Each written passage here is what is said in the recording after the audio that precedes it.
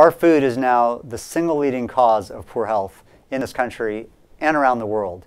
And that means it's the single biggest opportunity we have to make ourselves healthier, lower healthcare costs, reduce disparities, and even help the environment and drive uh, businesses and government budgets forward by reducing healthcare spending. Restaurants are a growing source of food for many Americans. And what we found is that the nutritional quality of meals chosen by Americans in restaurants is on average poor or at best intermediate, with very little of it being excellent.